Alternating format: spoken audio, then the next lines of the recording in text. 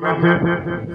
लेकिन सहजता सरलता, संजीदगी, जनता और किसानों के प्रति समर्पण और कार्यकर्ताओं के प्रति अपनत्व, ये बिरले लोगों में होता है। हमारा सौभाग्य, मैं चाहूँगा कि जेपी नड्डा साहब के लिए आप जोरदार तालियों से उनका स्वागत करें। हमारे यहाँ एजुकेशन रिसर्च के लिए भी एक करोड़ पच्चीस लाख रुपए की व्यवस्था की गई है। इसको भी एक करोड़ पच्चीस लाख रुपए की व्यवस्था की गई है ताकि हम रिसर्च कर सकें। और उसी तरीके से हमारी कोशिश है कि किसान भाइयों के लिए एक विस्तृत व्यवस्था की दृष्टि से हम काम करें और किसानों को मजबूती प्रदान करें, यह मैं ज़रूर आप सबसे चर्चा करके हुए आपको बताना चाहता हूँ ये आपके लाभ के लिए है, आप सोचें मैं दूसरी बात आपसे कहूँ। हमारे सिख भाइयों ने, हमारे गुरुओं ने जितना देश के लिए, रक्षा के लिए योगदान किया है वो कदापि देश नहीं भुला सकता है, इस बात को भी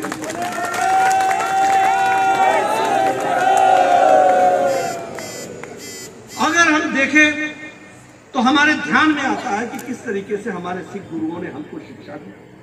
हमारे ध्यान में आता है किस तरीके से गुरु गोविंद सिंह जी के साहबजादों ने शहादत दी। किस तरीके से हमारे अन्य गुरुओं ने शहादत दे करके इस देश को एक रखने का काम किया है, उसमें सिख भाइयों का बहुत बड़ा योगदान है, इसको हम कभी भुला नहीं सकते। हमेशा हमको याद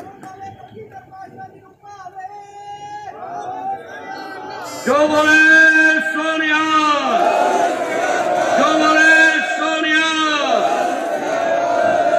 लेकिन यहाँ पर मैं ये भी बताना चाहता हूँ कि सिख भाइयों के साथ सभी राजनीतिक दलों ने हमेशा राजनीति।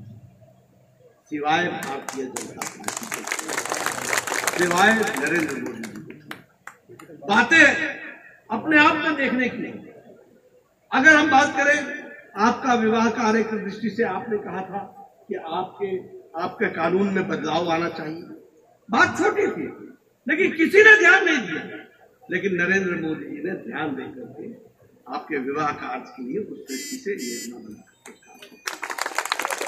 अगर मैं बात करूँ गुरु ग्रंथ साहब हरमंदिर साहब हरमंदिर साहब पर लंगर पर टैक्स लगा लंगर के सामान पर टैक्स लगा। प्रधानमंत्री जी ने लंगर के टैक्स को छूट देते हुए जीएसटी और आईजीएसटी दोनों से छूट दिला करके और सालाना 325 करोड़ रुपए हरमंदिर साहब के नाम पर खजाने में जमा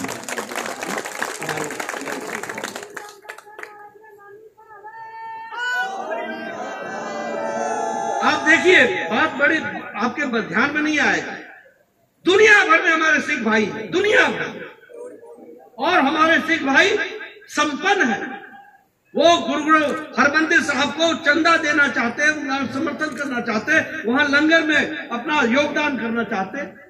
लेकिन फॉरेन कंट्रीब्यूशन रेगुलेशन एक्ट उन पर लागू होता था, इस कारण से उनको वो दिक्कत आ लेकिन उनको रजिस्ट्रेशन एफसीआरए का दे करके हरमंदिर साहब को, जो ग्लोबल संगत के दृष्टि से उनको आर्थिक रूप से जो भी मदद करना चाहे, देने का काम किया तो नरेंद्र मोदी जी ने नियमों में छूट करके कराया